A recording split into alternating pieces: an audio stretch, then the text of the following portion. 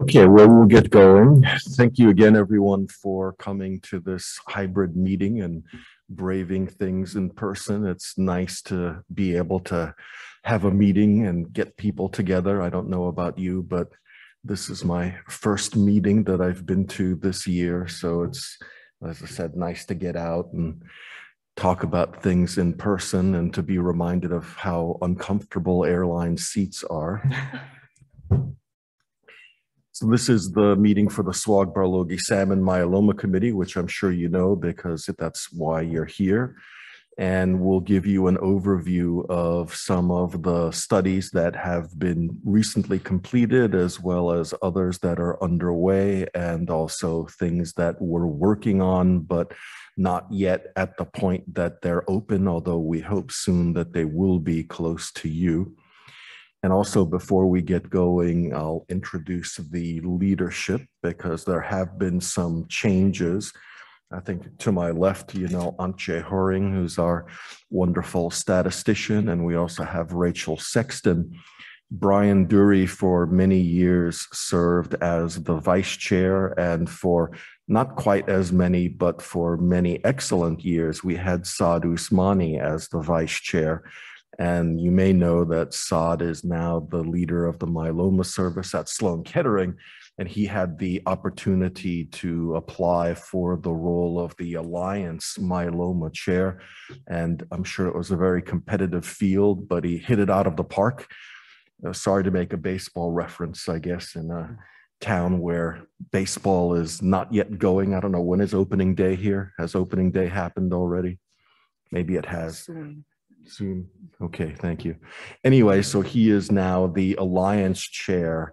And as a result, we have two new vice chairs who are among the most active folks in the SWOG myeloma community here.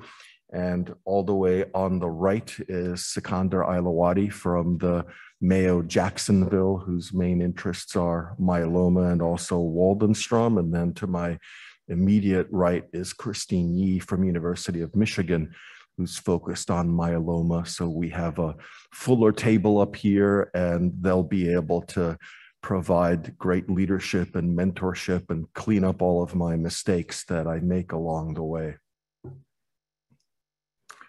Scientific leadership is here. We've got Brian Walker for translational medicine, Chelsea Pinnix for radiation, we do have a few changes that we'll need to make, including identifying somebody for surgery and a replacement for Saad for imaging. And if you know of good candidates for some of these positions, please reach out to me or any of the vice chairs here or Antje. We'd be happy to strengthen our team by having folks with these areas of expertise who also have an interest in and knowledge of myeloma. And then these are our designates, and we'll move on to enrollment. One of the really exciting things over the last couple of years is that the committee and the group as a whole has been very active. So you can see that myeloma has moved up on the list in terms of total enrollments. And we're now number three in terms of the treatment committees behind GU and lymphoma. And hopefully over the next couple of years, those numbers will maintain or perhaps even expand. But I did want to thank all of you because without you and others like you, these numbers would not be improving. And I think we've got some really great questions that we're asking, which hopefully will make a difference for myeloma patients. And this is a more colorful view of that. It's in the SWOG materials that are available online, but you can see that after good activity for a few years. We've really picked it up recently, and we've got almost 400 enrollments for the 2021 year.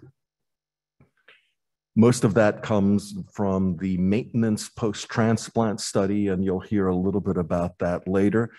The exciting thing here, first of all, this is, by the way, a study that is still open, and we still have several hundred people to enroll. So for those of you that are looking for a study that you can open, this would certainly be a top one on the list. You may remember, and you'll see this later, that there are two randomizations here. The first one is to lenalidomide versus len plus daratumumab as maintenance initially. And then after two years, based on MRD, they get randomized either to stop or to continue if they're MRD negative. And if they're MRD positive, then they just continue. And you can see at the bottom that we've got the first group of patients who have gotten to the two year endpoint. And so we're getting people that have been randomized. You can see two of them have been randomized to stop, and two have been randomized to continue. And so the study is moving forward very nicely. We've also had good enrollment to some of the NCTN studies that SWOG is closely involved with, including the Smoldering trial. And Dr. Elizabeth Manasanch, who's in the audience, is the SWOG champion for that. And there also is good accrual to the Equate study. And Dr. Gowan is the lead for that. She wasn't able to make it here, but I'm sure is quite busy at home. So here's our agenda. And as always, we'll start with recently closed studies. And I'll just try to give you an update on some of the recent publications within the last year or two that have come out about previous studies. And I won't go into a lot of detail because I'm sure most of you have read these or at least seen these data but one of the updates came from the SWOG S0777 study, which looked at LEN and DEX as an induction versus bortezomib, LEN, and DEX. And this was the most recent update, as I mentioned, published now two years ago that looked at longer term follow up on this study. And you probably remember that the three drug regimen had a better complete response rate and also a very good partial response rate or better that was improved compared to the two drugs. And the same was true for the overall response rate. Most importantly, progression free survival in the red curve for the triplet was better, and also progression free survival at six months in a landmark analysis. If you had a partial response or better, you did better than stable disease and VGPR did even better. Duration of response was better for the triplet, and overall survival was better. You may remember that the VRD was only given for the first eight cycles, and after that, both arms had RD only. And so, even a relatively brief course of bortezomib is of benefit in terms of PFS and OS. And this was really the phase three study that established this triplet as the standard of care in induction. And this is true whether you were more mature or less mature, shall we say.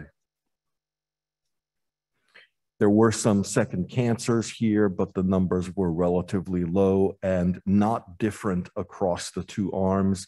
So at least from a bortezomib perspective, we know that proteasome inhibitors generally do not have any concern in that regard. Now, S1304 was a study that Dr. Ailawadhi led, so maybe I will pass the remote over to him and he can regale you with some of the highlights of that study, at least as I've selected them out for the slide set. Excellent. Thanks a lot, Bob. Good morning, everybody, and welcome to this hybrid session. So 1304 was a phase two randomized study comparing two different doses of carfilzomib with DEX for patients with relapsed refractory myeloma. Uh, of a, it was uh, wide participation, and uh, Dr. Abidi and Suzanne Lentzsch were my study co-chairs for that. So the way the design was, the patients were randomized. This, this has already been presented and actually published, but uh, low dose was the 27 milligram per meter square and high dose was the 56 milligram per meter square and the patient still had biweekly treatment. Um, and then if after 12 cycles, uh, so the treatment stopped at 12 cycles. If the patients progressed on the low dose, they would actually cross over to the high dose arm. And this primary paper was published now um, a couple of years ago, a little less than two years ago. And what we noticed was that there was not a very significant difference with respect to the primary endpoint, which was PFS, but uh, when we look at the uh, VGPR rates, which was uh, VGPR, so depth of response, arm two, which was the higher dose carfilzomib, fared a bit better. But when we look at the primary endpoint, progression-free survival, there was not a statistically significant difference. When we uh, looked at the various subgroups by prior lines of therapy, one to three or four to six prior lines of therapy, still there was not a statistically significant difference. It did seem that there was a trend towards the high-dose carfilzomib arm, but it did not reach statistical significance. Patients were allowed to have had prior bortezomib therapy, so we again did some uh, subgroup analyses of patients who were either refractory or not refractory to bortezomib. And again, in that setting, we did not find a statistically significant difference. There were some um, differences noted numerically, but again, the numbers were relatively small. Overall survival, again, not any statistically significant difference. We did look at overall survival by prior lines of therapy, again, comparing high dose and low dose with either the patient's one to three lines or four to six lines. Uh, did not see any statistically significant difference there either. Uh, overall survival by prior bortezomib treatment, again, similar. There were some, like I said, numerical differences, but the numbers are relatively small. And so uh, nothing that emerged as a clear data.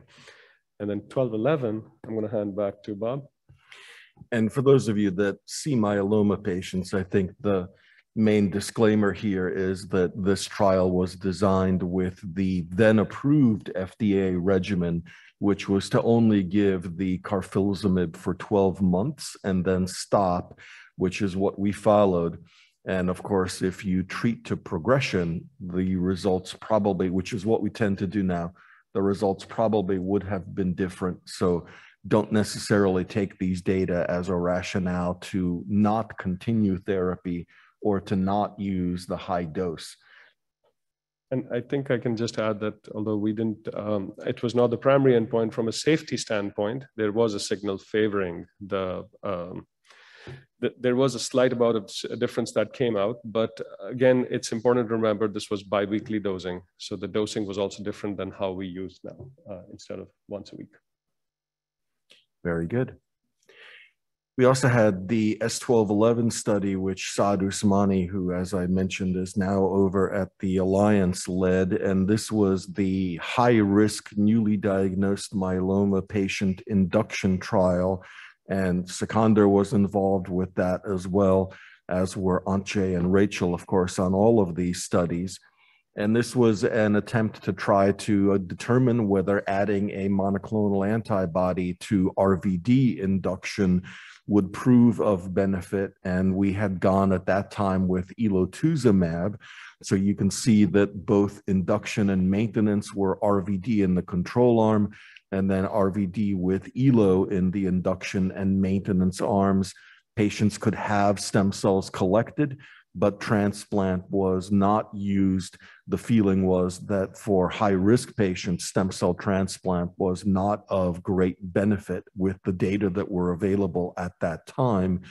And so there was a publication in Lancet Hematology last year of these data with Saad as the first author. You probably know that unfortunately elotuzumab did not show a benefit in terms of progression-free survival. And after we had presented these data, they also presented data of their company-sponsored study in newly diagnosed patients, which looked at Lendex versus Lendex Elo. And oddly enough, even though it's a really great combination in the relapsed setting, in newly diagnosed patients that did not meet the statistical endpoints and so was considered a negative study. So somehow this drug seems not to be the ideal agent to use for newly diagnosed patients. And here you can see the overall survival, while there was maybe a little bit of a trend for the ELO containing group, this study was designed with the notion that uh, again, going back to our baseball analogy that we would hit a home run. And so we went after an aggressive hazard ratio. So this was not powered to show a small difference as perhaps the overall survival data suggested. But there is an abstract at ASCO with the updated overall survival data And I do believe that there will be a manuscript submitted soon with Saad leading the way on that to update those data. Although, if I recall correctly, Antje, you can correct me if I'm wrong, but the overall survival data remain not significantly different. Very good. We do have this ECOG study, which was lenalidomide versus observation for asymptomatic smoldering myeloma.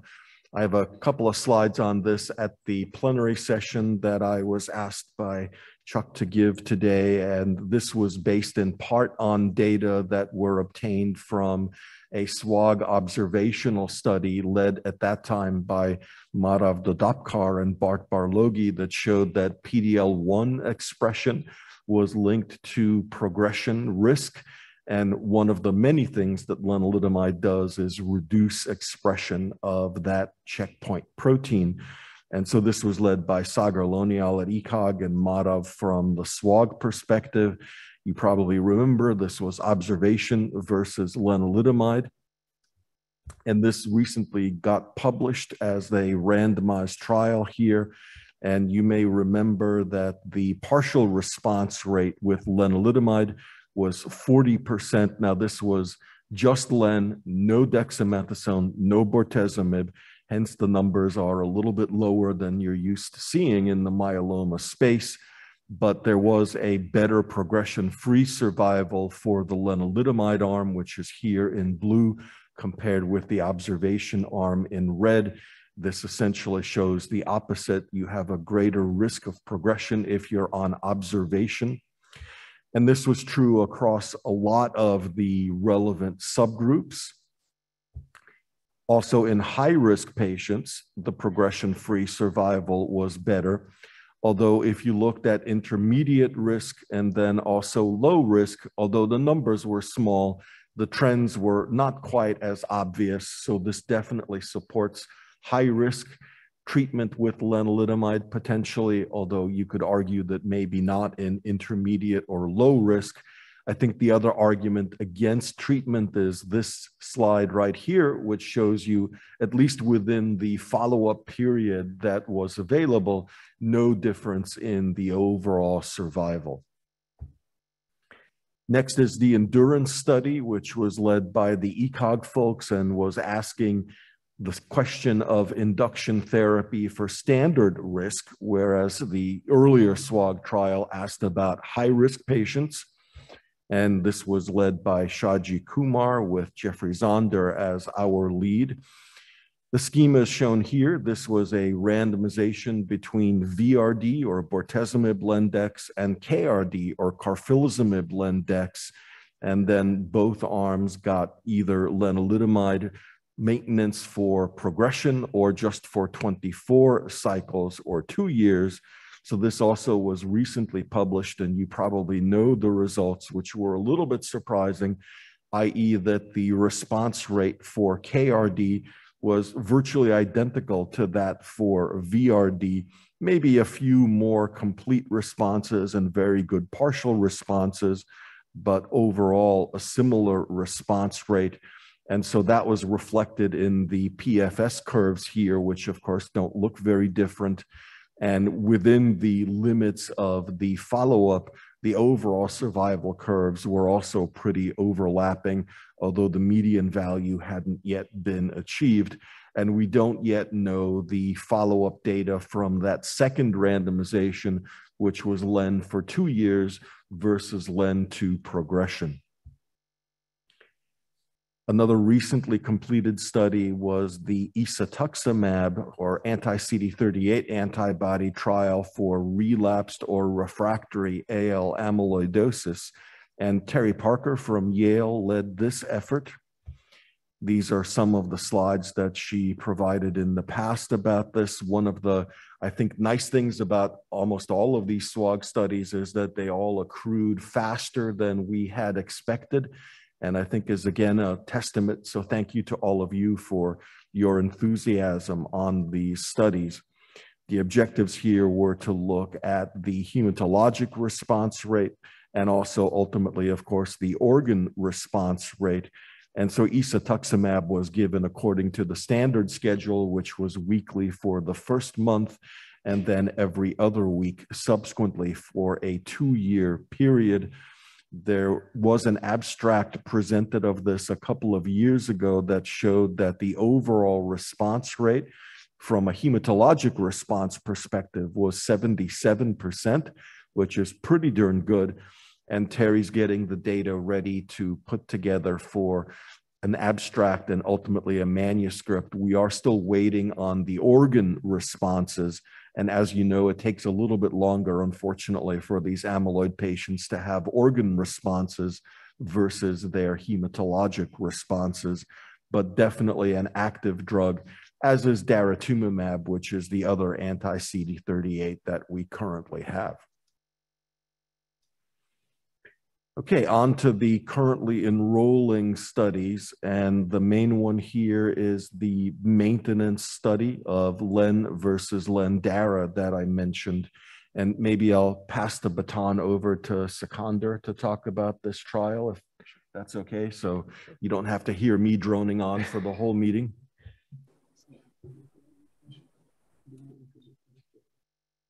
Um, I don't think we have anybody joining remotely that can present. Sure. So um, as Bob mentioned, this has been actually uh, very fast accruing and a, and a, a, very important study. So again, a phase three study of um, plus lenalidomide or lenalidomide as a maintenance for post-auto transplant in patients with myeloma. And it is actually, importantly, using MRD uh, directed therapy duration. So patients after registration would get randomized to either LEN or LENDARA for, uh, for uh, maintenance.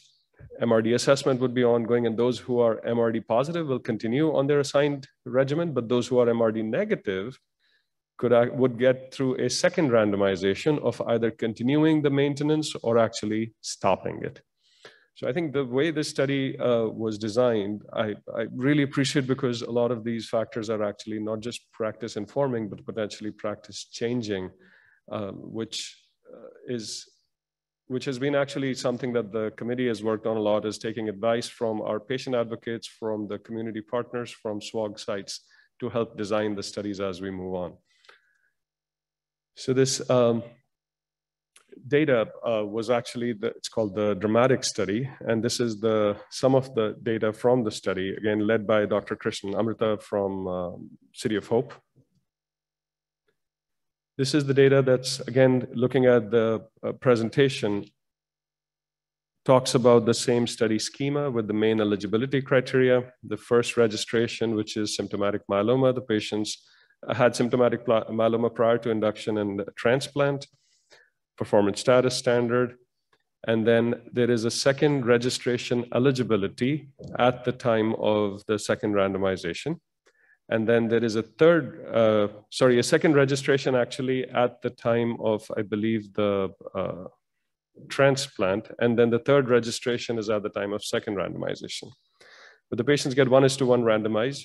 The plan is for 950 patients to go through that portion. Um, and whether it is single agent lenalidomide or lenalidomide plus daratumumab, the treatment schema with the doses are mentioned there.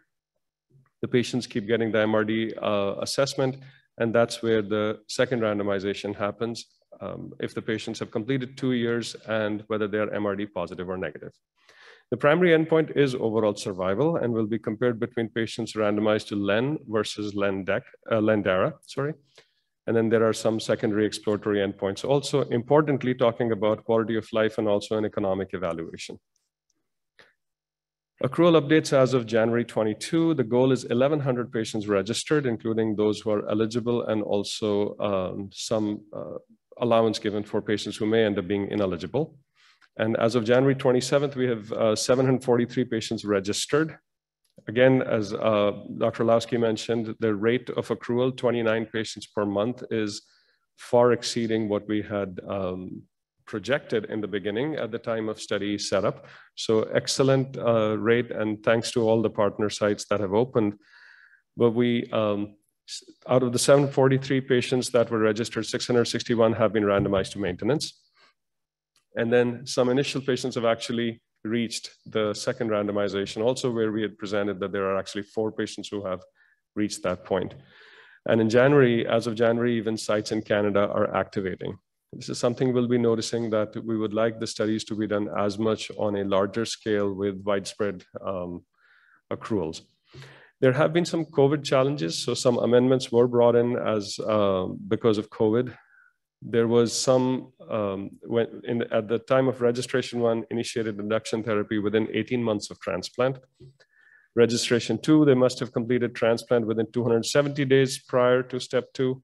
So some allowances were given there just to accommodate for COVID-related challenges.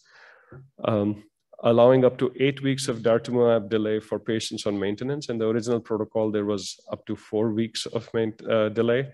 And then uh, in maintenance, also allowing up to six months of lenalidomide maintenance before registration, step two. These are important considerations because you can imagine the patient may have had the transplant and then they may not be able to come back for the visits that frequently to go to that second registration step or to the uh, uh next randomization, for example. MRD status, again, extremely important. This was a very, very important part of the study because this is integrated into the trial. This is what is actually determining how the patient's second randomization subsequent management would be. So 540 patients have been tested. Uh, 442 total patients were MRD enabled, and uh, there were some polyclonal IDs total noted, uh, but no dominant sequences were found. And we had some discussion around this yesterday at our uh, group meeting. So uh, in some cases, the sample quantity uh, or quality was not considered sufficient either. Uh, amendment submitting in March or April, um, the HydraShift assay so that the interference of daratumumab with the SPEP results can be separately studied. And um, this, we, we have this in mind because we don't want to be doing an underestimation of patients who achieve a CR because of the daratumumab interference into the SPEP. And then the quality of life analysis we found yesterday was also that this has been submitted and is hopefully going to get activated soon so that the quality of life component can uh, start off as part of the study. So one of the pieces of discussion that was brought up yesterday, and I think it's extremely important for us to consider and also gain feedback on, is that now generic lenalidomide is available. Some of us have started noticing that patients are bringing up this question that either an insurance has recommended to replace to generic, or uh, frankly, at least in my case, when I've found out, it's been the patient telling, oh, by the way, I've been switched. And not something that is directed by our practices, but something that is considered important from the study standpoint because um, currently the protocol specifies Revlimid, but patients are already using the, but patients are using commercial supply. So uh, the protocol of the study is not directing whether it should be Revlimid or lenalidomide, for example. Um, and we did discuss a little bit that there is a little bit lack of data, as we know with generic in combination with daratumumab. To the best of our knowledge, there should not be any differences, but something very important from the study standpoint so at least as a group, we thought it may be reasonable to send out a memo to the sites where the study is open that if the patients do switch to generic lenalidomide, then at least a notation be made and informed back to the SWOG group so that this can be utilized later on in analysis, uh, monitoring of AEs, even down the road response assessment, et cetera, et cetera. We do not anticipate any issues, but we felt this was an important change to make or at least a memo to send out accrual by site. You can see obviously uh, City of Hope leading the number there. Dr. Krishnan is located there, but it, a widespread availability and participation from a lot of different sites across the country, both in academic and non-academic settings. The character, patient characteristics that have of the ones that have been enrolled so far, uh, median age, for example, the lenalidomide group is 62 years, the Lendara is again 62, quite balanced the main idea to present this data that the randomization process and the way the study is set up is working out appropriately and the uh, two groups are very balanced. In fact, one of the things I did, at least I focus quite a bit on healthcare disparities and, and, and now that we also have DEI champions assigned to the committee, thanks to the kind of the process from SWOG, at least I was noticing that there's 13% in one arm and 16% in another arm of African Americans. That is a number that is better than what is average seen in our clinical trials. So I think we were quite happy seeing that um, difference. Again, uh, 8 to 10% Hispanic patients. Those are, in, in my mind, quite good numbers, at least better than before. And I was informed that the study chairs are on Zoom and available, so I apologize to them for not knowing that and not including them. But Amrita Krishnan, if you're on and if you have any additional comments to make on the maintenance study, please go ahead. And again, my apologies. Thank you, Bob, and I think Sakamba, thank you. You did a better job than I could of presenting it, so um, I appreciate that. The one comment I wanted to make is we get this question a lot, and I think we had a discussion last night in regards to another study about high-risk patients. So we are going to, as that we're going to have a small subgroup of the study chairs that includes myself, Dr. Chhabra, who's the CTN co-chair, and Yvonne Efebera, who's the Alliance representative and we are going to review all the fish data um, for all the enrolled patients. And um, as I said, also designate high risk versus standard risk so that we should have some further data when the study finishes in regards to those that specific subgroup. And one thing, uh, Amrita, that Antje and I were kind of whispering about is that the MRD data, if you can go back, Sikander, a couple of slides. Yeah, so you have uh, out of 442 patients here, almost 100 have either a polyclonal or an inability to get a clonal signal. So my question to her was whether we may not need to think about enlarging the study because the primary endpoint of overall survival will be okay. But if we do want to answer that second question of either stopping maintenance or continuing maintenance based on MRD, and essentially 25% of patients were not going to be able to know how to randomize, we may need to enroll more patients to be able to get that second randomization answered.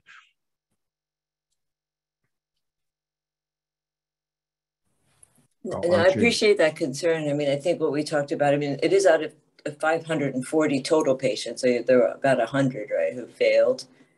Um, we are going to try to go back on the polyclonal ones and get more samples. So hopefully, hopefully we can bring that number down. Um, I think it speaks to the challenges of doing, you know, those in the MRD camp by um, PCR-based testing versus those who want to do it by flow, right? And the challenges of both methods um, in these large studies because this is pretty much in keeping with the uh, rate that has been seen in other trials. And, I, and uh, I don't, I can't comment. I'll, I'll be interested to hear what Antje says about the sample size and if there's a certain threshold where we're going to have to think about increasing it. Yeah, I think Bob had a good point about that. We will we'll need to re redo our uh, sample size calculation. Though um, I just got a text from Rachel who did that. And um, she said it was pretty overpowered for the second randomization analysis. So we'll, we'll, we'll, we'll run, run the numbers, but we may be okay. Thanks, Rachel. Yeah, Amrita. So thanks for clarifying that it is uh, 100 out of 540. So that does make it sound a little bit better, but that's still, uh, you know, a little under 20% of folks that are not being randomized. So I guess Right. ultimately it We'll- we'll- depends we'll on have to how redo. overpowered That's exactly it right. is. Yeah, we'll, we'll redo the sample size calculations, make sure we can answer that question. I mean, the good that news, is, that's a, yeah, no, it, it- it's so cool that we have that built in and we want to be able to have a definitive answer at the end of the study, do, you know, and we stop treatment for MRD negative patients. I mean, the great thing is the study is enrolling so quickly, and that was even before the Canadians join, that we could add more patients and still finish sooner than we had originally anticipated. I know. So I, I think that hopefully there would be agreement from the folks at CTEP and NCI and the rest of the myeloma steering committee if we did need to add another, I don't know, 100 patients. I mean, at this rate, we're talking four months, right? so that's not, a, a big change to the trial. Sure. Excellent. Okay, thank you. So the next study that we were going to talk about, and that this one is Sikander study. So hmm, uh, it was Sikander study. Oh, it is Sikander study. So um, uh, this is S2005, which is a phase two study of ibrutinib rituxan with or without venetoclax in previously untreated Waldenstrom. The study actually got activated uh, last year, June of last year, but has overall had uh, uh, delayed in activation a lot of sites because of mostly COVID-related staffing challenges. The way the study was designed was that patients get randomized, newly diagnosed, and they would get either ibrutinib rituximab or ibrutinib rituxan venetoclax. And actually, um, everybody was designed to get two years of treatment. And then after two years, the uh, treatment would stop. Uh, if there was progression in the two drug arm, then the patients were set up to cross over to the three drug arm. Primary objective was CR rate, and secondary objectives were overall response, progression-free survival, safety of the doublet, uh, triplet, median time to best response, overall response rate, and we did work on tissue banking for correlative objectives that were being planned. I'll skip over this portion as the importance of ibrutinib rituxan that is already FDA approved, but we do not get any complete responses or deep responses with BTK inhibitors. And this is the way most of the B-cell lymphoproliferative disorder world is going, that uh, from a fixed duration therapy of chemoimmunotherapy to BTK inhibitors, which is ongoing treatment, but less deep responses, to then potentially adding BCL2 inhibitors, getting deeper responses, and again, going towards fixed duration therapy, but without including traditional cytotoxic chemo. Um, the eligibility was newly diagnosed patients, uh, good performance status, no grade three or four peripheral neuropathy, creatinine clearance above 30, and then standard markers for uh, a, uh, liver function and also uh, bone marrow function. Sorry. As I mentioned, randomization to two or three drugs. If the patients progressed on the doublet, they would cross over to the three drugs, and the treatment would be given for a maximum of two years, either from the first uh, start or after the crossover the patients would get up to two years of maximum treatment, and then actually they would go to event monitoring. Uh, as I mentioned, CR rate was the primary objective. Uh, it was kind of non-existent with the ibrutinib rituxan, so uh, we calculated based off of that. And then we were talking about extramural funding for the correlatives.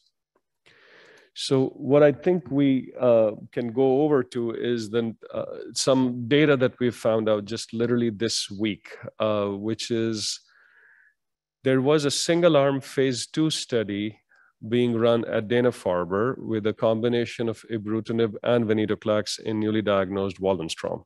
And earlier this week, we were made aware that there has been an adverse safety signal from that study and so there was a new concern that there may be a uh, side effect profile, unfavorable side effect profile for this combination of ibrutinib and venetoclax in patients with Waldenstrom.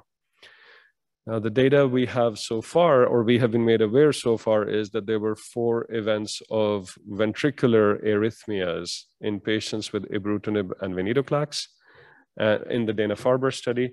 And um, there were actually two deaths out of those four patients. Um, I'm aware that the uh, study at Dana-Farber was modified to get more cardiac monitoring set up and to see if they could isolate where uh, these adverse events were coming from. But to the best of our knowledge, we do not have any more granular information, um, for example, cardiac amyloid, et cetera, et cetera. So the Dana-Farber study has actually been uh, terminated to the point that patients who were on treatment, their treatment was terminated and everybody's been moved to event monitoring.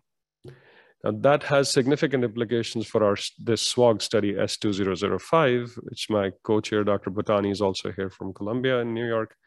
And what we have taken a decision is because the safety data is not available anything more than that, that we would not want to expose any patient to the risk of that adverse event. So as of last night, we decided to send out a clinical hold on this trial till we have more data available or have a better uh, subsequent plan. There is one patient who's currently on treatment at Sloan Kettering, and I've been in contact with the PI over there. That patient's treatment has also been held. We had just consented the second patient, and a bunch of other sites were in the process of opening. But as of yesterday, like I said, that we are going to be sending out a clinical hold. We are working on regrouping with CTEP, uh, potentially gain uh, information of uh, reports that may have been submitted to FDA from Dana-Farber. We, I have been in contact with the PIs at Dana-Farber and also with the pharma sponsors of that study at Dana-Farber, as well as our study, the pharma supporters. Um, how whether this study would be uh, modified or whether it would need a replacement that all has to be figured out because this is relatively recent uh, information.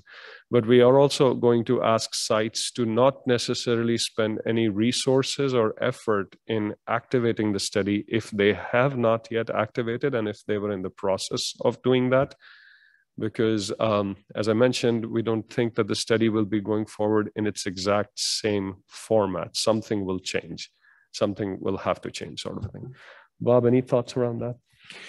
No, I think I agree with everything that you've said. Um, we would ask that you keep this study, excuse me, in mind because we do think that we're going to be able to modify it in a way to give your newly diagnosed Waldenstrom patients two safe options for treatment. I think we're all enthusiastic about the Waldenstrom space, and this is the first cooperative group study that has targeted Waldenstrom in probably at least 10 years, if not longer than that. So I do think that there is a, an unmet medical need there, both with regard to the patients as well as with regard to you and the sites. We just have to make sure that we do the best we can from a safety perspective for the patients. Sure. And if any of you have concepts for Waldenstrom that you want to propose, please reach out to us because there is a, an opportunity there with regard both to newly diagnosed and ultimately as well in the relapsed or refractory space. Absolutely. So with that, I'll uh, hand over to Christine, who's our SWOG champion for this next study.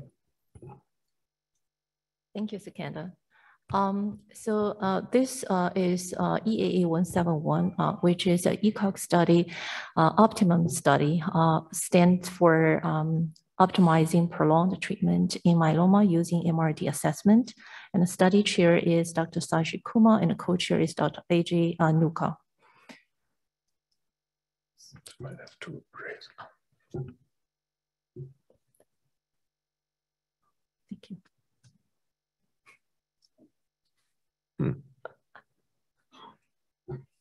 Well, fortunately, the study is advancing more quickly than the slides.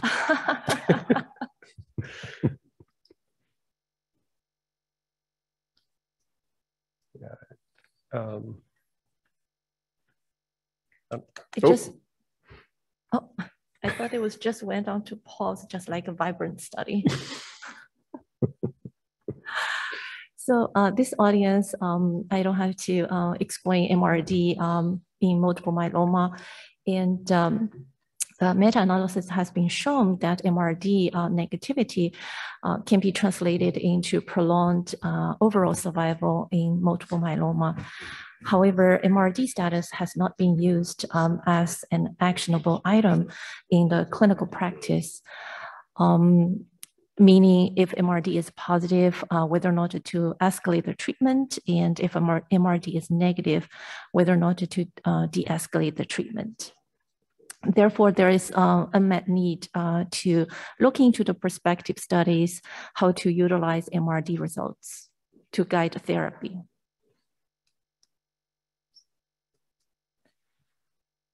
So for patients um, who are transplant eligible, uh, standard of care at this time is single autologous stem cell transplant followed by lenalidomide maintenance therapy. The median progression-free survival with this approach is approximately four years. Um, however, many patients continue to relapse. Therefore, um, it is unclear for us to know whether or not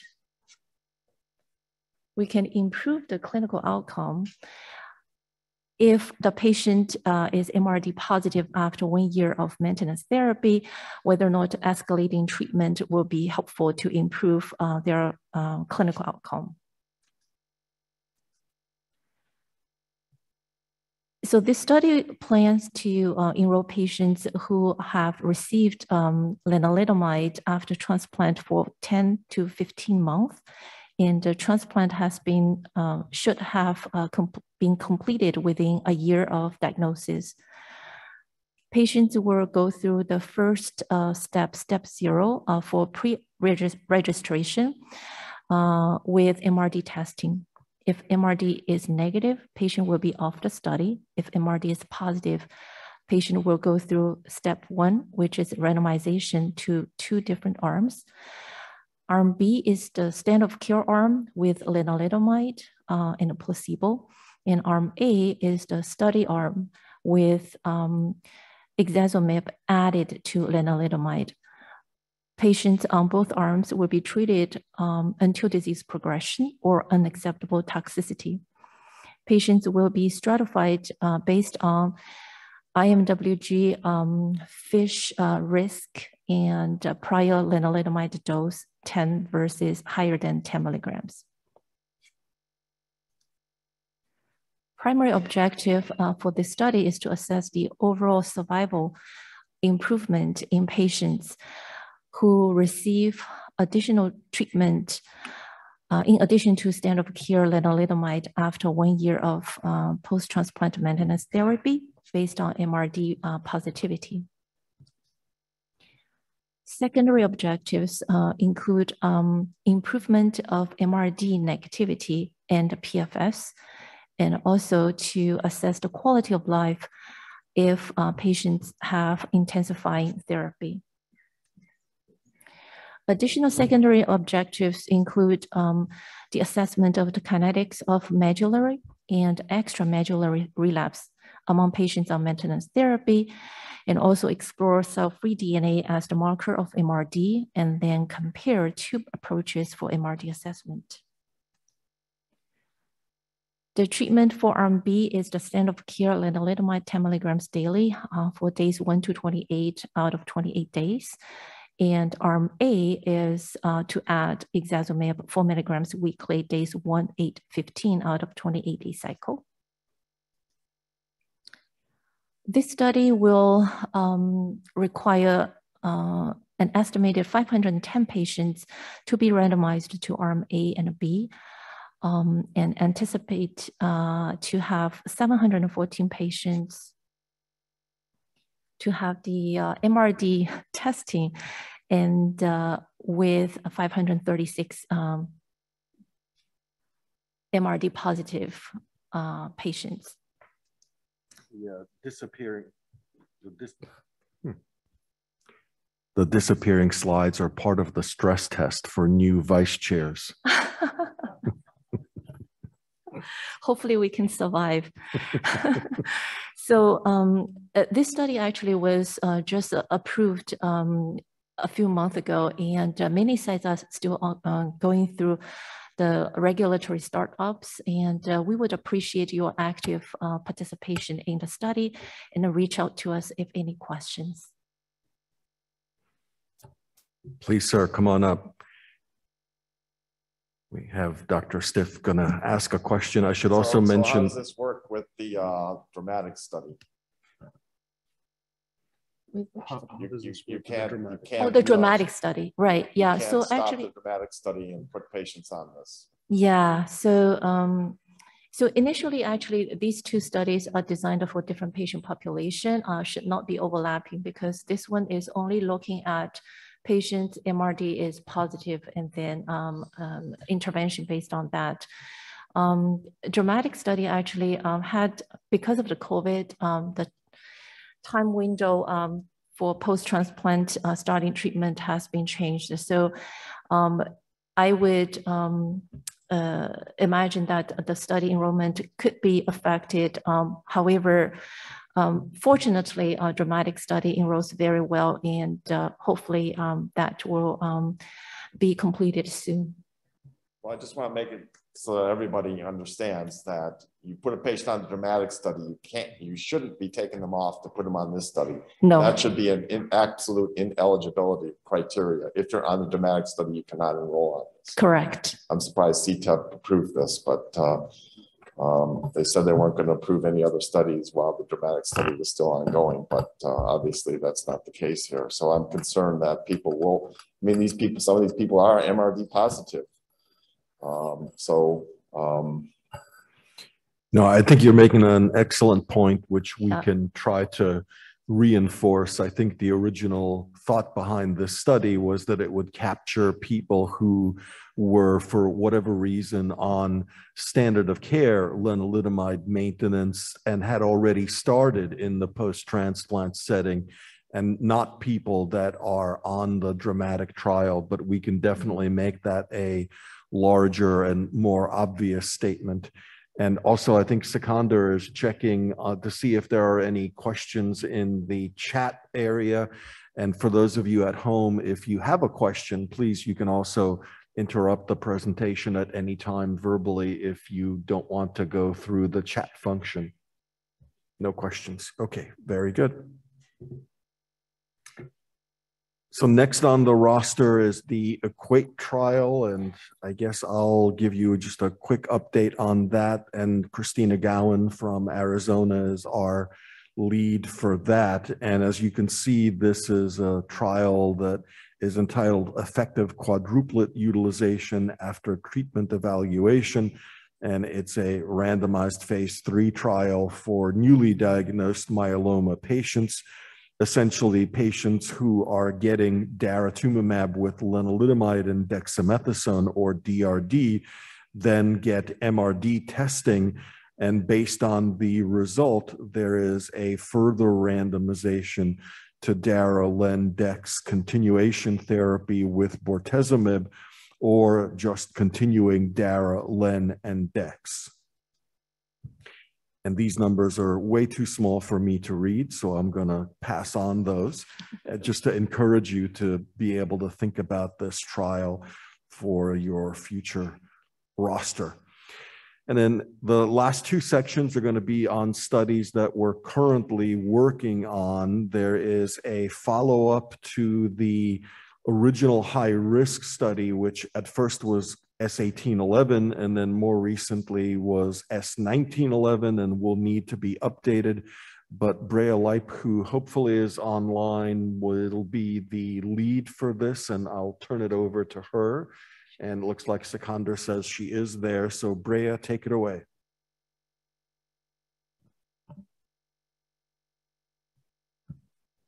You might be muted because we're not hearing you.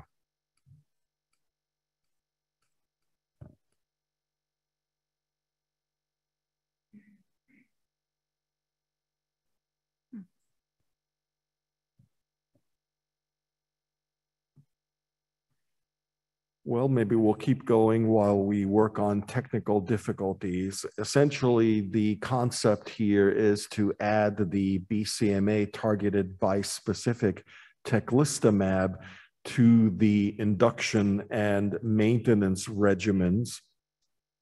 And this is a study that is still undergoing some design. So again, there is room for input, but the current discussion has been to do RVD DARA, as the control arm and RVD Dara with teclistamab as the experimental arm. And for maintenance in the control arm, there would be some combination of an IMiD, a proteasome inhibitor, and probably DARA. And in the maintenance arm for the experimental arm, there would be some combination of teclistamab, and we had probably a one hour discussion at the working group meeting yesterday as to exactly what that would look like. And I think we are still working through some of the options. This is a trial that hopefully we'll be able to start putting together into a capsule for internal review in the third quarter So you do again have an opportunity to opine about what you think would be the most exciting design that would get you pumped to put your patients on this if they had high risk disease. Hi, sorry, Bob. I I had to Oh. step away to answer a page, of course, as soon as you like said my name. But sorry. Okay, let me But- turn it but I am back to here. you then. Yeah, but but I am here. So as as you were saying, and, and I'm so sorry, uh, but this is again the initial objective of this was to look at overall survival between two arms, and so we had decided to look at VRD Dara versus VRD Daratech, and then the maintenance for this was is something that we're still looking at. So again, the secondary objectives for this trial, we were going to look at the progression-free survival between these two induction arms and then look at the response rates and look at the toxicities, obviously some quality of life analysis, and then there's some MRD analysis planned as well. So this was initially designed to be the follow-up from 1211, sort of the next iteration of looking at uh, upfront induction for these high-risk patients. And so that's what it is. But as, as Bob was saying, sort of the schema is really going to depend on what people feel comfortable with in terms of putting patients on. So a couple of things that have come up have been whether or not we still feel comfortable avoiding an upfront transplant in these high risk patient populations, and whether we feel comfortable putting a high risk patient on Daratech maintenance without a proteasome inhibitor or lenalidomide, given what we know about these patients and their risk. Is the RVD Daratech enough upfront during induction to justify Daratech in the maintenance setting? So that's some of the issues that are up for debate as we're designing this schema. I don't know if anybody had any comments I or think, thoughts. uh, We've got Dr. Stiff who's going to make a comment and maybe Dr. Bhutani as well. I think it's a great, a great study, a great opportunity if we can get this pulled off. I, I would say that this will accrue very quickly and so maybe think a little bit wider, maybe a second randomization so that you can assess the efficacy of the bite in induction and assess the efficacy of the bite in uh, maintenance. So you might not need it in, in uh, upfront, just put it in the maintenance. So having a, uh, literally uh, a second randomization so that some people who might get uh, no drug for, for induction and maintenance and um, those that get the drug, uh, the bite for induction and not maintenance, uh, not get the drug and get it in maintenance and then get it in, in both uh, sides. I would say that to throw the kitchen sink at this, and I would say that transplant should be allowed. I don't think it necessarily should be mandated um, uh, for a variety of reasons, but uh, these are high-risk patients, and I think again uh, the goal is to try to really improve their outcome. Uh, these drugs are very exciting and very efficacious, and uh, I'm, I'm I would put every patient I could find on this trial. But I and I do think it will accrue quickly, and so that you should think as big as possible. So sort of trying to answer the question that came out of the Cassiopeia trial, which was whether you need DARA in both induction and maintenance would be your suggestion. I, I like that uh, notion. Dr. Bhutani, how, what is the Columbia view on this? Excellent study. I, my question is, you know, why are we using overall survival rather than PFS? Because with the number of treatments available afterwards, those treatments are going to have an effect on the overall survival as well. Well, I think we definitely collect PFS, but historically, when we've discussed these studies with CTEP, their goal was to use overall survival as the endpoint. Uh, but yeah, I, I hear what you're saying, and we'd certainly be open to continuing to have that discussion with them.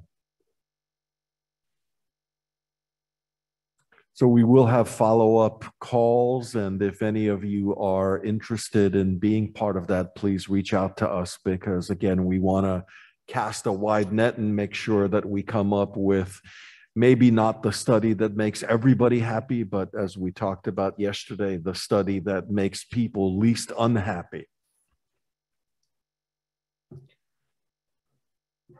There's actually a, there's actually a question on the chat. Uh, so Deborah Beatty is asking that for the EAA 181, which is equate, uh, the quadruplet um, study. Yep.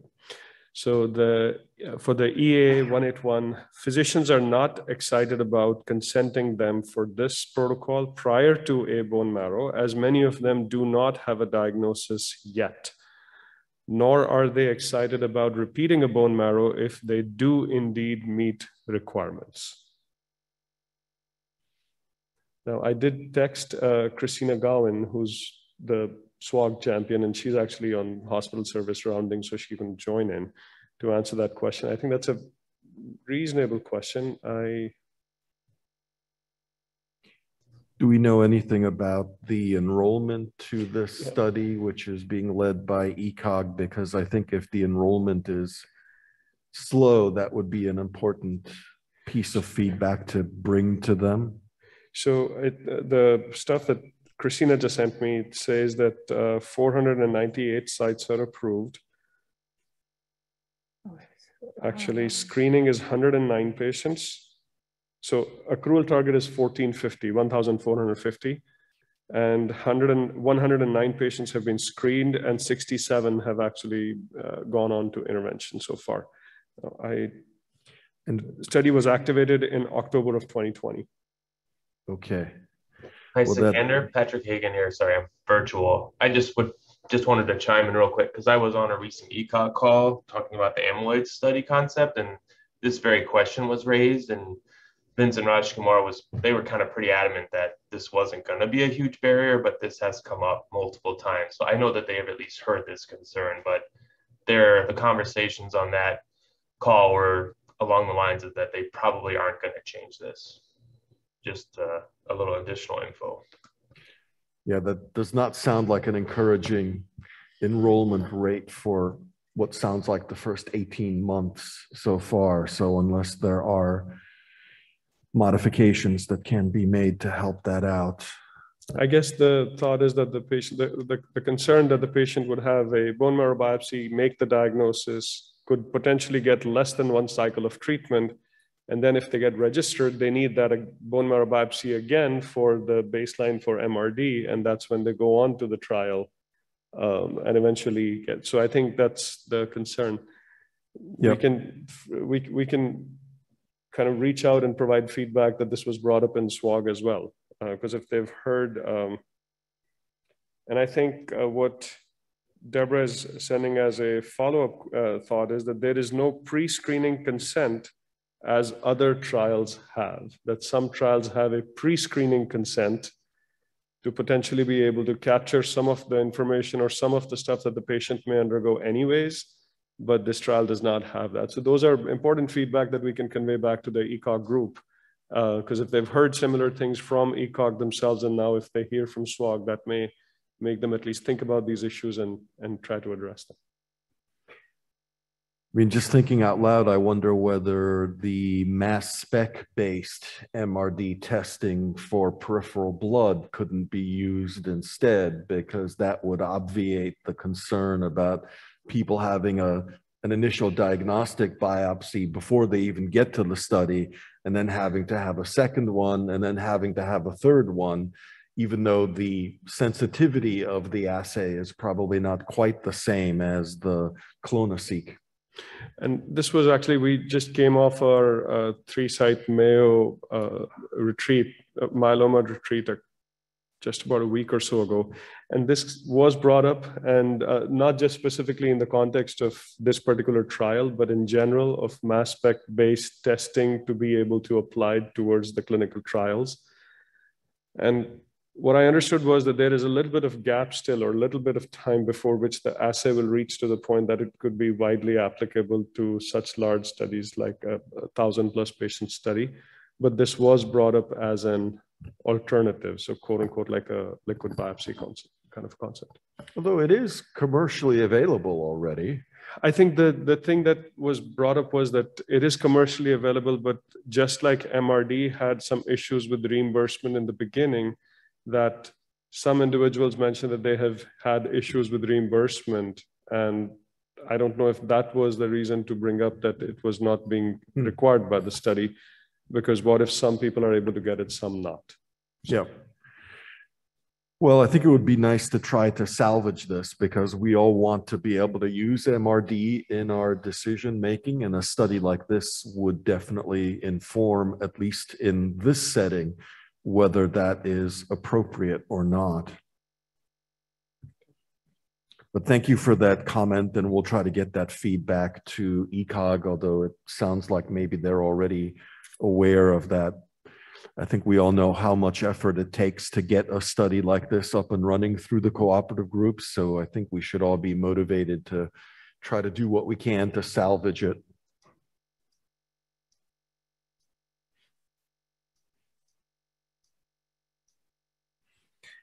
Okay, so studies that are in the works and are moving through, we'll turn it over to, it sounds like Patrick Hagen is on the line to talk about his AL amyloidosis study looking at transplant yay or nay. So take it away, Patrick. Thank you. I, I, think these may be older slides, Bob, but we'll, we'll see. Uh, Oh, Apologies. It's okay. We go to the, I can make it work. We can go to the next slide though, just so I can see where we're at. Um, yeah, so this, these are some older slides, but it's okay. We can hit the highlights anyway. So this is a study um, that's been in development for about a year and a half, looking at the role of high dose chemotherapy and stem cell transplant and systemic light chain amyloidosis. So I'm, I'm Patrick Hagen from Loyola, for those of you who don't know me. And this has really been a group effort with a lot of support through um, SWOG, but also um, kind of consistent communication with some of the other cooperative groups in the BMT CTN because amyloid is a, a rare disease. So to do any kind of national study, we need a lot of buy-in and cooperation, which thankfully we've gotten. Um, so really the big question kind of highlighted here in the background here is really what is the ongoing role of, of high dose chemotherapy in the current era with a lot of new drugs that have been developed. So there's really only been one study ever that's looked at this in a randomized fashion. This was the old study published back in the New England Journal in 2007. Well, this is really outdated and flawed because um, they experienced really high transplant-related mortality, 24% on that study, and transplant was actually inferior. But really what we know now is that in experienced centers, so if you're doing at least three or four transplants a year, that TRM is really consistently lower, more in the two to 5% range. And there's even some single center um, experiences that don't do a lot of amyloid. And if, if patients are selected carefully, the TRM now is, is, is quite low and acceptable. We also know that induction therapy before transplant, as well as the actual dose of melphalan, so whether you get full dose or dose reduced, really are the two biggest factors driving good outcomes um, for transplant eligible amyloid patients. Um, and I think one of the big reasons, and I keep harping on this, why this is really a critical question is because we really don't know what to do with these patients. And that's really um, depicted on the practice patterns that are very different in the US compared to Europe. In the US, kind of the estimates are tough because who's really transplant eligible and who gets screened, et cetera. But maybe as much as about a third of patients will undergo transplant um, after their AL diagnosis. And a recent really large alchemy study out of the United Kingdom showed that it's really quite lower there. And that's more consistent across Europe. That study showed only about 3%, so a tenfold drop. So we know that these studies have been tough to enroll on, but the recently accrued Andromeda study, which is really established now, the now FDA approved regimen of CyBorD-Dara as kind of the go-to upfront regimen, enrolled very quickly, and that was quite a large study. And as, as Bob and our group highlighted, we recently accrued um, the uh, isatuximab study in the relapse refractory setting quite quick. So we think there's an appetite to, uh, to look at this question and potentially answer it. Um, so go to the next slide. So important in terms of feasibility, again, there's some updates here, but we're, we're doing about 300 transplants annually, and that held up, holds up for 2020, and it's holding up for 2021. So that the more recent two years are really critical as CyBorD DARA or DARA VCD has become more of a standard with pretty good outcomes. So we think in terms of feasibility, things look good. We're not doing less transplants. We're collect selectively bringing the right patients to transplant, and I, I think that is important in terms of potential enrollment. Next slide. So, so again, this is a study that we're hypothesizing. So we're, it's going to be a randomized phase three study.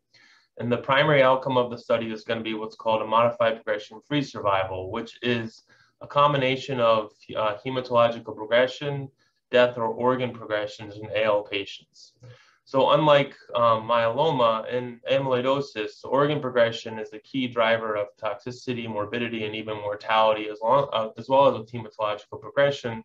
So these are all really important endpoints in any study on AL. And this was an endpoint, this composite endpoint was really established by the Andromeda study, but it's being increasingly re reported in the literature and accepted as an important endpoint in amyloidosis. Furthermore, survival endpoints in amyloid are prohib prohibitively long and even hematological progression can be quite challenged to, to follow. So we'll, we'll look at a lot of uh, uh, important secondary endpoints, uh, such as quality of life, overall survival, treatment-related mortality, so both on the transplant and non-transplant arm, um, obviously organ response, hematological response, including MRD, and then hematological PFS. Next slide. So this is the basic study schema. So patients are enrolled based on eligibility, um, and there are strict eligibility that I'll highlight hopefully in the next slide. But um, all patients, will, after they're registered, will undergo two cycles of DARA, VCD, or DARA CyBorD induction as standard. And if they're deemed still transplant eligible based on, um, uh, again, strict eligibility guidelines, they'll be randomized either to complete an additional four cycles of DARA VCD or go on to high dose melphalan chemotherapy and transplant. This is a one-to-one randomization. So basically, we're really trying to isolate the role of consolidation here. Is ongoing DARA-VCD superior or inferior to high-dose chemotherapy and transplant? We're not mandating stem cell collection, although we'll encourage it. That has a lot to do with kind of practice patterns as well as uh, financial reimbursement issues. And then all patients will go on to complete 18 months of daratumumab maintenance. Again, in the DARA-VCD arms, this will be kind of standardized for the Andromeda in the high dose chemotherapy and transplant arm, those patients will pick up post transplant with monthly daratumumab to complete a total of 18 months. Uh, go to so that's the study schema. So again, there, there's a lot more detail ahead in the other slides, but essentially the, the inclusion criteria will really be heavily dictated on transplant eligibility.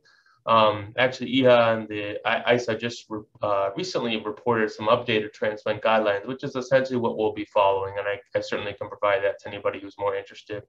Um, patients have to also achieve at least a partial response to their induction. So if someone's getting DARA-VCD, for example, and has stable disease, that's not somebody who we want to just get four more cycles of the same treatment to. So those patients would come off but followed on a registration basis only. Um, they can have symptomatic myeloma. There's some other, again, the important exclusion criteria that I won't dive into here. Um, they have to be able to collect enough stem cells for transplant, et cetera. Um, but these are the, the highlighted ones. Uh, next slide. So this is this has changed uh, more recent. So essentially, um, these numbers are, are in the ballpark, but essentially what we're doing, this is going to be a randomized phase three study. It's going to need to um, in, enroll uh, 139 patients to actual their registered treatment arm. We're going to have to account for some dropout, obviously, because there's, again, going to be a few patients who aren't going to be able to achieve a PR. And with amyloidosis, we're going to expect to lose about 10% patients um, due to toxicities and other issues. So this is a little bit more of a challenging patient population than myeloma. There's always there's a little bit more um, expected toxicity from therapy.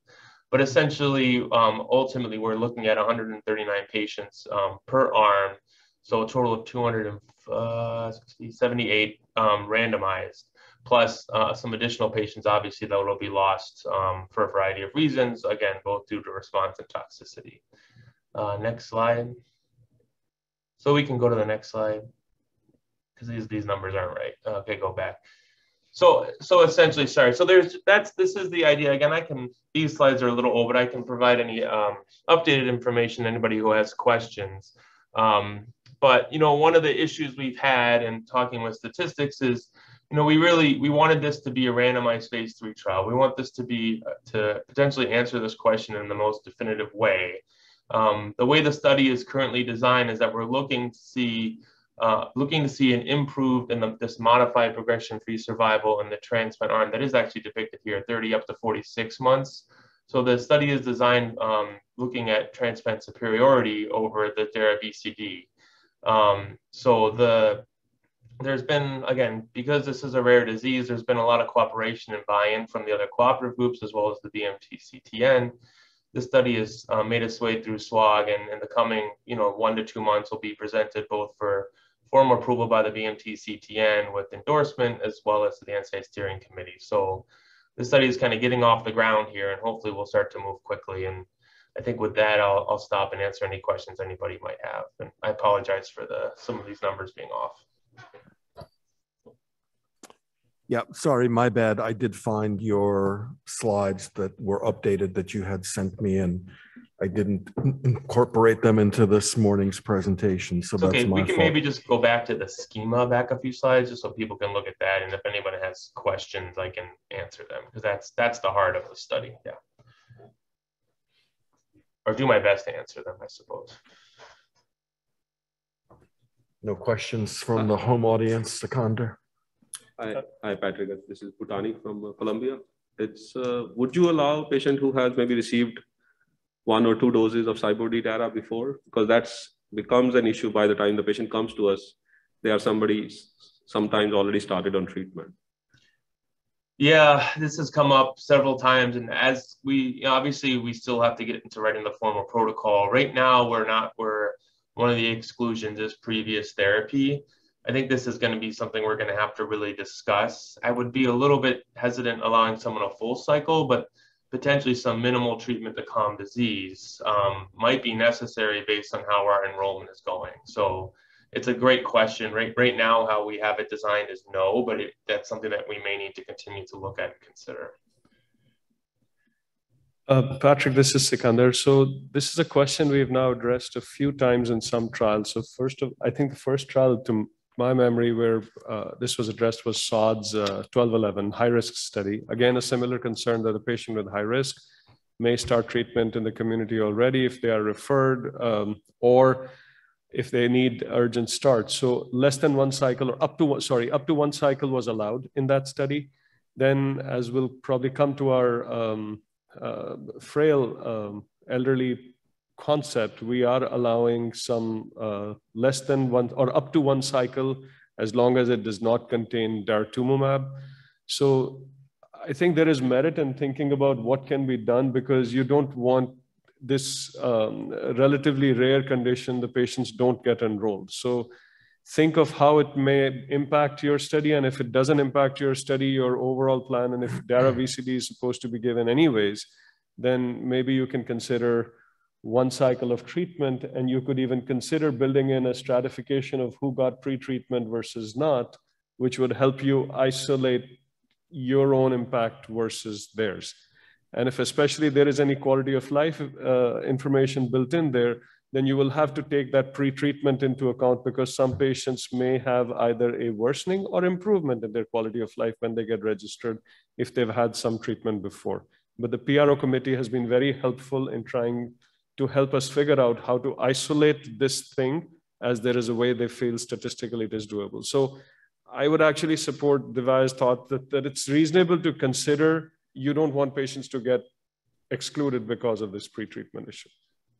Yeah, I, again, I, I, actually, I generally agree. I think um, it would have to be, obviously, we'd have to very carefully um, kind of dictate what pre-treatment would be allowed, and it would definitely have to be um, accounted for in terms of a stratification. And I don't, I don't know if Antje and Adam would chime in. There's currently three stratifications built in: um, the Mayo stage response to, to pre-treatment, um, and the intent to use full dose melphalan or not. So if we added a potential for stratification you know, would we be, would we need to increase enrollment at all? Because again, enrollment is a little higher than I'd like already um, for a rare disease, but that's how it's currently designed at least. Yeah, I think that was a good discussion. I would certainly support if somebody's had one cycle of DARA CyBorD that they could be enrolled. I think the question is, do you count that as one of the two cycles or do you give another two cycles? And i guess my initial knee-jerk reaction would be that if they got a reasonable facsimile of dara vcd that that should be counted as one of the two cycles. Uh, people sometimes present and it is the only fda approved regimen so you've got that going for you. Yeah. I'm not sure about including other regimens, that might get a little bit too sticky and you may get too much inhomogeneity in the patients. But I agree, if they've had DARA VCD or they're in the middle of the first cycle, I think it's pretty reasonable to include them. Yeah, I do. It would have to be incorporated and counted, in my opinion, just because you know median time to even CR in this regimen is less than two months. So it's we get pretty rapid um, uh, disease reductions with this regimen. So, um, so yeah, I'm I'm definitely open to it, and it's something we definitely should continue to discuss as we start the protocol writing here in the coming months. And Patrick, you could consider going back to the language that we typically use in phase one trials, that if a patient has received more than 70% of the intended treatment for that cycle, then that may be considered the appropriate full cycle for, if the patient has received more than that, that should be counted as the first cycle. So I think, I think reasonable questions reasonable to kind of try to figure out how to capture this. Again, the intent being that we would like these rare disorders to be captured as much as possible and patients don't become ineligible, which is also another um, effort, I guess, from the DEI champion to help guide a lot of this uh, with, again, the idea that patients should get more and more option or uh, opportunity to get onto clinical trials. And I think it's really safe because, again, I didn't highlight this, but in this study, there's going to be two eligibility checklists. There's going to be one both at diagnosis and then pre-randomization. So, so again, if there was anything kind of bringing in maybe a patient who was borderline or had a little bit of treatment, hopefully in terms of the safety and you know the clean randomization, that should be addressed at the second eligibility pre-consolidation where we're doing the randomization there is another question in the chat coming, which is actually going back to S1803. So um, I think that somehow came in a little bit later. But in S1803, the question was, um, again, yeah, so um, so Jody's asking that S1803 question prior to step two registration is the bone marrow collection for MRD. This is difficult at community sites as the post-transplant bone marrow biopsy is done at the transplant center. To obtain the need to, to need the marrow for step two sometimes requires the patient to have an extra bone marrow biopsy and insurance companies are not paying for that extra one. So again, considering that uh, the patient may get the initial bone marrow biopsy in the community, the transplant biopsy is done at the center, and sometimes uh, there's an extra one built in there, which reimbursement may be an issue. So I'm assuming that that's because sometimes the transplant center does not have the trial open or they may not realize that the patient is on the study and may not be sending the sample. Is that correct? I, am understanding that the, because that would require a baseline MRD sample to be sent for future analyses, that if that MRD sample was not sent at a bone marrow, then a separate aspirate would at least be needed to send the MRD testing and insurance may not always approve that. I think her question is more linked with the bone marrow collection for MRD is difficult in the community sites. So this is the baseline bone marrow, not the baseline one around the transplant or two-year out point. Yeah. Correct. That the community sites are uh, uh, not sending that sometimes because the current workflow is that the bone marrow around that time is supposed to be done at the transplant center only. So sometimes that community site doing the MRD testing or sending out the MRD testing they're thinking is getting a little bit challenging or is a bit challenging. So we can provide that feedback maybe to Amrita to try and address. Or Amrita, are you still on? Yep, I'm still on. So oh. your question is in terms of the, you're right, because that, that since we allow registration before or after transplant, I mean, it's a wide window, right? And most of the patients come to the transplant center after four cycles. We never, I mean, our own newly diagnosed patients, sure, but given the dropout between induction and going to transplant, I don't think we can, you, you can't capture all those baseline samples.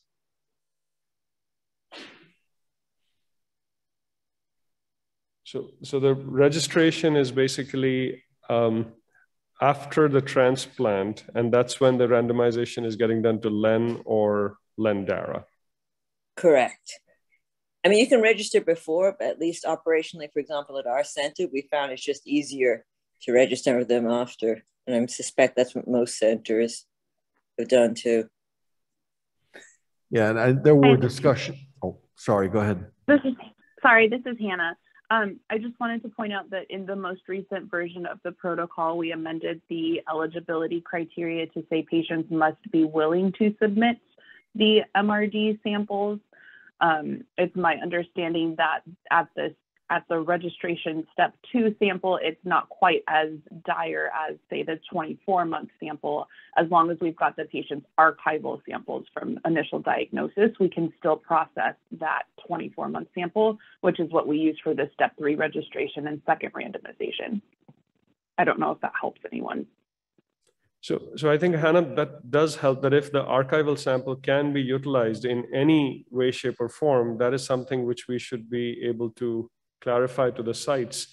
Since at least if uh, Jody's concern is that they may be under the impression that they have to do another marrow and that marrow may not be reimbursed. So there comes a dilemma. So hopefully our accruals can even be further better.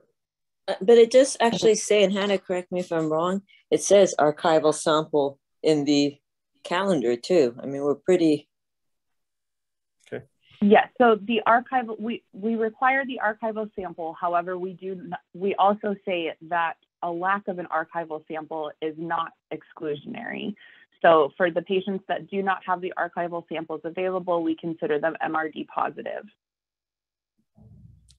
Okay, so that's actually quite helpful. So maybe what I can suggest is, as uh, Jody sent out this message, uh, a call out to all the sites that if they have, it can be a little bit confusing. When is registration? When is MRD? When is baseline? When is randomization, et cetera. But if anybody has any question and they're trying to take a decision about whether the patient fits the criteria or not, I would strongly urge to please reach out to the study chairs. They are here or to the SWOG Center, and this is where the troubleshooting can happen. Because maybe there is a patient who we think may not be eligible, or we may have the window, but they do still fall under the window because sometimes the protocols have gone through amendments, different amendments have been applied, et cetera, et cetera. When I recall, there was a lot of discussion when the study was being put together about when registration should occur. Mm. And there were some people who wanted it prior to the maintenance, other people wanted it earlier. And unfortunately, this is one of those examples where no matter what you pick, there are going to be some people who are not 100% happy. I would say the fact that the study is enrolling well uh, is at least certainly testament to the fact that it's designed currently while perhaps not making everybody happy is nonetheless one that captures a lot of patients and hopefully we'll be able to answer the questions that are being asked. But thank you for that comment. And we'll continue forward here.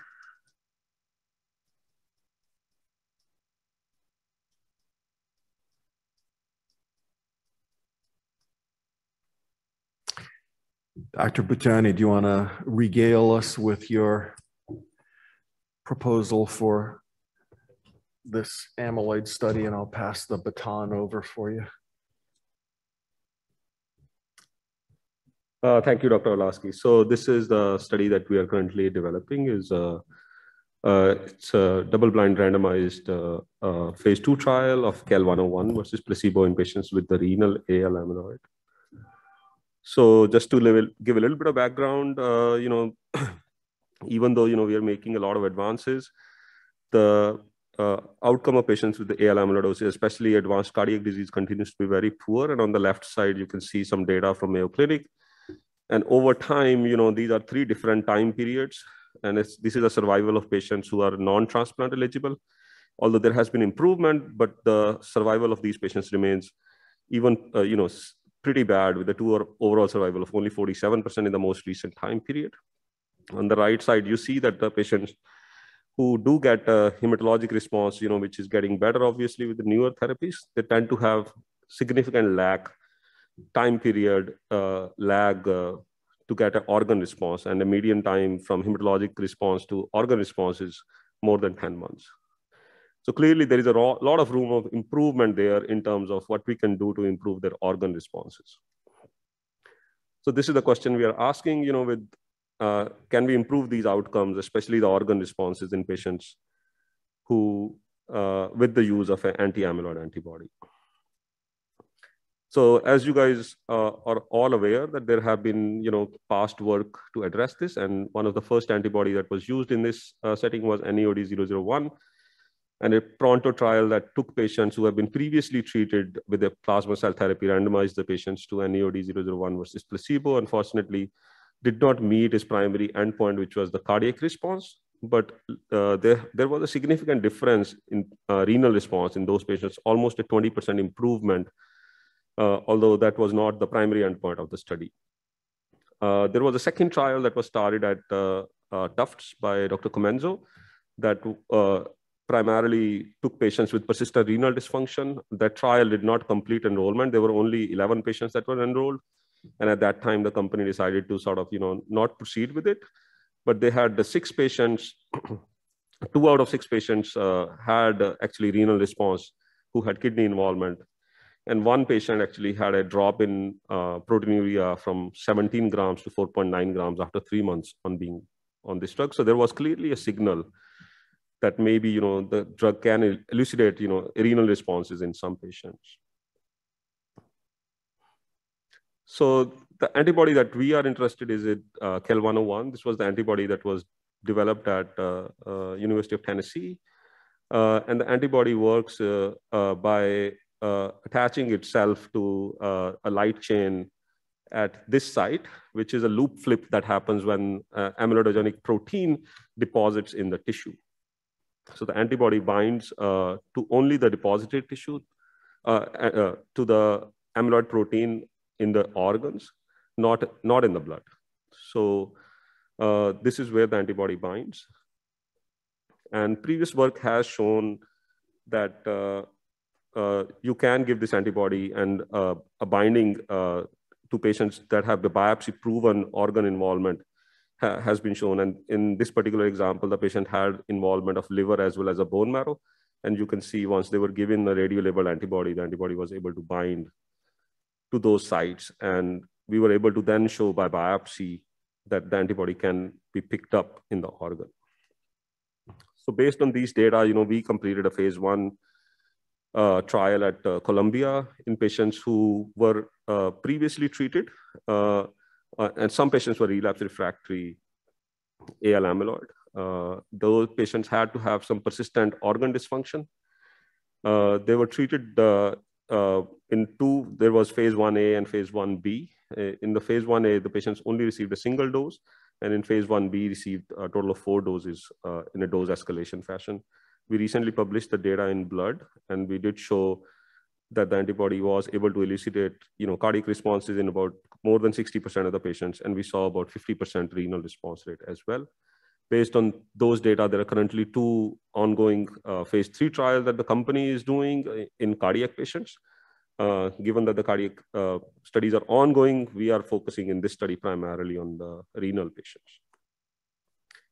These were the data that were presented at ASH. There is another phase two trial that was being done at uh, a Cleveland clinic, and they had uh, uh, seven patients that were enrolled with the renal dysfunction, and all of those patients had, uh, you know, uh, achieved a, actually a renal response. So it does seem to be a, a, a signal there as well. The drug was, you know, very very safe, and this is the data from our phase one trial. Uh, practically no real sort of, you know, high grade toxicity was seen. So this is our uh, study design. Uh, patients with history of renal AL amyloid will be randomized one-to-one uh, to CAEL 101 uh, versus placebo in a double-blind randomized fashion. Um, so the primary objective is going to be the renal response rate in patients uh, treated with the with the drug, and the second secondary objective are going to be cardiac response, uh, organ progression-free survival, uh, overall survival, safety, as well as patient-reported outcomes. These are going to be the main eligibility criteria. So patients should have, uh, you know, renal involvement uh, by presence of proteinuria, uh, as well as a previous history of a biopsy-proven amyloid that could be biopsy-proven from anywhere. They don't necessarily have to have a kidney biopsy. Uh, the proteinuria has to be more than one gram at the time of uh, enrollment in the study they should have received primary uh, previous anti-plasma cell-directed uh, treatment and at least achieved a complete remission or a very good partial remission. Uh, we will allow patients up to two lines of prior anti-plasma cell-directed therapy so that you know we don't run into enrollment issues. And we had quite a bit of discussion, you know, how to sort of, uh, uh, we are allowing patients up to four years uh, from the time of starting the first line treatment, just so that we have sort of enough numbers to be enrolled. We didn't want to, and you know, increase this too much because you know as the time goes on the chances of them achieving a you know organ response goes down and down. So we will limit that at four years. Uh, patients should have completed their last dose of uh, uh, antiplasma cell therapy at least uh, 16 weeks. Uh, and for those patients who are getting a transplant the transplant must be at least 24 weeks prior to them getting enrolled on the study we will let given the andromeda data we will let the patients continue the maintenance therapy with the CD38 antibody uh, as per the uh, discretion of the treating physician.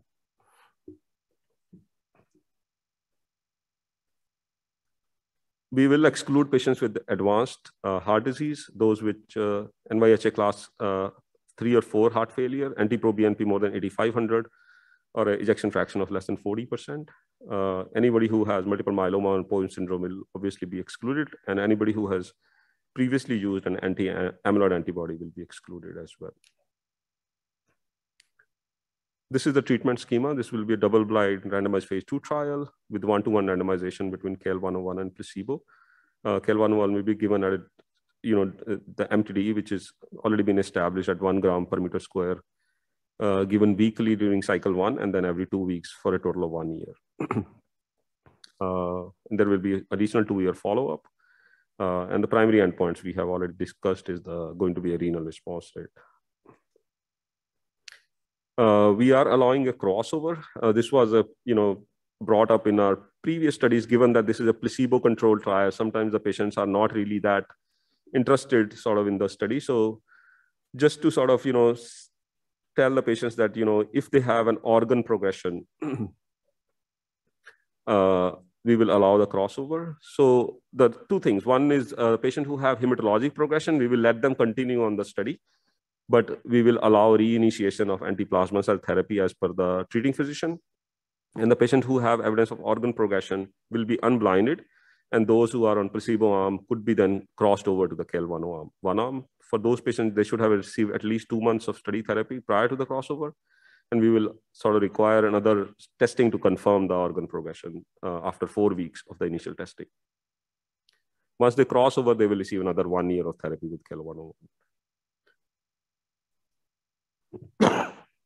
so we have uh, run the numbers and Jan uh, helped a lot and Adam helped a lot with running the numbers. So uh, our sort of uh, sort of uh, the hypothesis is that the patients on the placebo arm will also continue to have a renal response because, you know, as you guys know, once you achieve a hematologic remission, there is a lag between uh, getting the organ response. So our sort of hypothesis about 30% response rate will be there on patients in the placebo arm, and our drug will improve that to about 50%. So based on that, we calculated the numbers, and we need about 63 patients with the drop-off rate. We need about 70 patients on each arm. And this is the sort of the accrual number we're looking just through SWOG. But I think if we enroll ECOG and Alliance, I think we can definitely improve the accrual. Uh, these numbers are uh, on the table on the left side. You see 2.5, 3.5, and 4.5. I think in our recently completed isatuximab study, I think we hit about three patients uh, per month. So based on that, you know, uh, we calculated the time that we will require uh, for uh, enrollment. Uh, so hopefully we can, you know, better these number by uh, involving ECOG as well as ions. Uh, and uh, there will be a stratification by history of transplant as well as uh, a DFLC of less than one. We are also thinking of adding a stratification factor of uh, renal stage. We're planning to do an interim futility analysis given the previous you know, data with NEOD 0, 001 that wasn't really that effective. So after 50% of patients have been treated for six months, uh, we will perform this analysis to see uh, if there is a signal of the activity. So this is where we are. I'm happy to take any questions or suggestions. Thank you, Dr. Bhutani. Aman Godara from University of Utah. One question there. So if patients have a hematologic progression on the trial and they go for a transplant in that setting, will they have to come off the trial? Oh, well, that's a good question, which we haven't thought about. I think if they're going for transplant, most likely they will have to come off the trial. Yeah.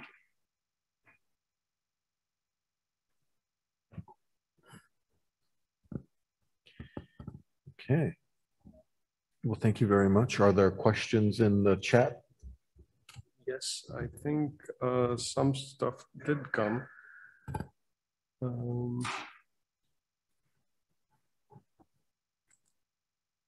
so I think Hannah uh, sent some um, updates to everybody in the chat so uh, regarding 1803. So I think that'll be helpful. Um, I also addressed Jody's question directly with her. Excellent. Thanks a lot, Hannah, for doing that because it seems that Jody was picking up some information she thought was discrepant in two different places in the protocol, so may have caused some confusion. So thanks, Hannah, for handling that. And there's a question uh, coming regarding uh, Divaya's presentation about what was the degree of renal responses, measures of improvement of quality of life, patient-reported outcomes. So I think the degree of renal responses, I think you uh, probably referring to the phase one study that we completed uh, we had some patients, you know, who had fairly significant proteinuria, and we saw, you know, 50 to 60% decrease in proteinuria in some of the patients. And similarly, uh, the Cleveland Clinic has reported the same sort of similar impressive renal responses in some of their patients in their phase two trial. Uh, in terms of the uh, quality of life and PRO, there is quite a bit of data published by Dr. Anita D'Souza from uh, uh, Medical College of Wisconsin. So we are going to use her work as sort of our uh, uh, quality of life and uh, patient-reported outcomes uh, uh, as guide to uh, guide to this. So we are still in in process of developing that. Yeah. All right, very good. Thank you. Thanks. And we'll move on to one more presentation, and I'll turn it over actually to Dr. Ailawadhi and Dr. Ye because they're leading this effort. So one of you take it or hand off. So I'm team. actually going to let uh, Christine take through the initial portion, then I'll add some stuff later. All right, um, on behalf of the study team, um, I'll be talking about this phase three randomized uh, trial for newly diagnosed multiple myeloma patients who are considered to be frail and intermediate frail patient, uh, intermediate fit patients not eligible for transplant. And we will compare two frontline regimens, VRD light versus DRD, followed by maintenance therapy, uh, Revlimid plus minus daratumumab. So we have two primary uh, objectives. Uh, one is to, maybe I can just move on to the schema to make it easier for you to, um, to look at. So we will enroll patients uh, frail and intermediate fit um, per definition from the protocol in newly diagnosed multiple myeloma patients, randomization into three different arms. Arm one, um, starting with induction therapy, VRD, followed by Revlimid for maintenance therapy. And this is the VRD light. So um, the dosing um, schedule is different from the standard VRD. Uh, this is uh, based on Dr. Nooper's um, publication for frail patients, uh, which is uh, one of the most commonly used frontline therapy in frail patient population. For arm two, uh, start with induction therapy, daratumumab and Revlimid and dexamethasone, followed by the same maintenance therapy, which is Revlimid. And arm three is to start with uh, DRD as the induction therapy, however, adding daratumumab to maintenance therapy.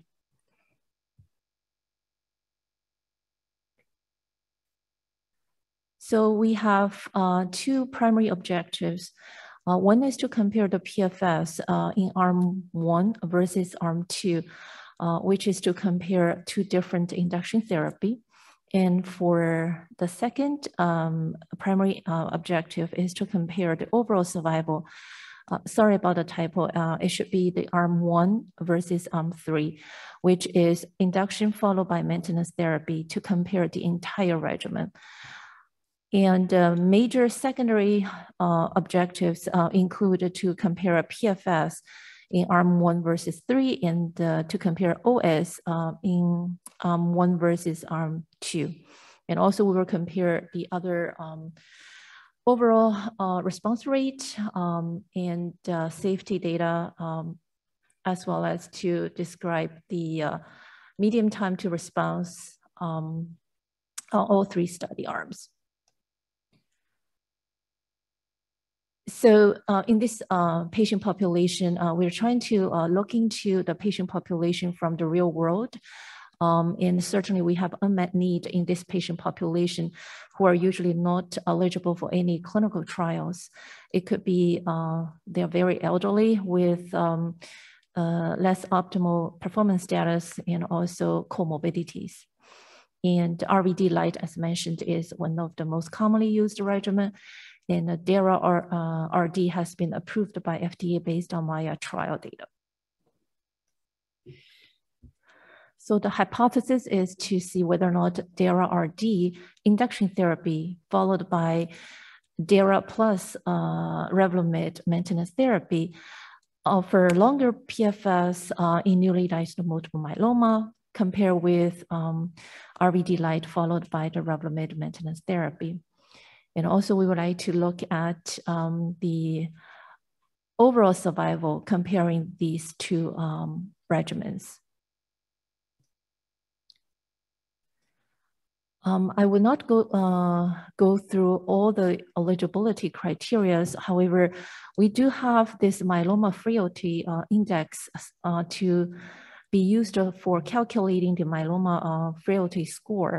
And based on this, patient will have um, the classification of either frail versus intermediate uh, fit patient um, groups. And then uh, we do have uh, these um, inclusion criteria so that this study will not overlap with um, the ECOG study uh, for a similar, the EQUATE um, uh, study patient population. So for this um, study with two um, objectives. Now we have two um, primary endpoints, and this is to compare the PFS and also um, OS as mentioned earlier. So um, we do have the um, risk stratification. Actually, this has been updated. We will uh, be looking at uh, one is the um, frailty score, um, and the second is to go by the FISH uh, result for high versus standard risks. And then number three is the prior uh, lenalidomide uh, dosage. And we're planning to enroll about 507 patients and to account for the 10% eligibility rate, we will have additional uh, patients enrolled for a total of 564 patients. And again, randomization will be one to one to one. We will also have the interim analysis built in. Um, I'm not sure if uh, Andre would have any additional comments uh, in this regard. For stats portion. Any, do you have any additional comments? No. Okay. No, you explained that very nicely. Okay, great. Um, All right. So a couple of things that I did want to point out, like Christine mentioned, where our hope is to have the study set up as close to real world practice as possible because these are FDA approved available regimens. Uh, the inclusion exclusion criteria have been made so that we are able to capture more patients rather than them being excluded. Um, there are some additional things that, and I'm sorry I wasn't able to get the slides in time, but um, there are some additional objectives that we have worked on. So for example, patient-reported quality of life, which will be captured based on QLQC30 and also pro-CTCAE criteria of fatigue, peripheral neuropathy, and pain. These are being actually built into the study now, so they will activate with the study uh, the quality of life measures. Uh, Dr. Christina Gowan, who's the uh, QOL lead, has been actively involved with the pre-ARO committee We're working on tissue banking at, at three different time points, baseline, end of induction, after one year of maintenance, and then the translation medicine plan is being worked on. There is a health economics component, which will talk about uh, healthcare utilization, and we're trying to see if there may be a component of financial toxicity and cost effectiveness that can be built in, but that will for sure be a post-activation amendment, but we're working on it. Uh, MRD assessment will be done, like Christine mentioned, that's an extremely important question that has not been addressed in this population before. So MRD assessment is being built in and that will be used, uh, performed using standard of care testing. And then there is a possibility of sub-study that we're looking at for thromboprophylaxis on the sidelines of this as a sub-study, but that will also be a post-activation amendment. Uh, I do want to point out again the efforts from having a DEI champion in the uh, committee. So uh, Dr. Espinoza has been helpful in helping set up a minority accrual plan. And our hope is that on the sidelines of this particular trial, we can set up a very formal minority accrual plan and somehow figure out a way of holding ourselves responsible for it. So, so far what we have done is um, that we've made it, made the study relatively more user-friendly. The inclusion criteria have been made more lax. So for example, a patient could go on if they had an ANC between 0.75 and one. Typically patients have to have an ANC above one. If there is an elderly patient above the age of 75, they could get into the trial irrespective of kidney function. If there is a younger patient and they meet certain uh, frailty score, uh, the creatinine clearance has been, a requirement has been dropped. Again, the, to, to be able to have more patients eligible. Uh, we're uh, hoping that it would be intergroup. Uh, the study is already has an ECOG Alliance champion, and we're hoping Christine's been working extremely hard on getting it set up at VA, where we already have a champion assigned, and hopefully also through Canadian partners.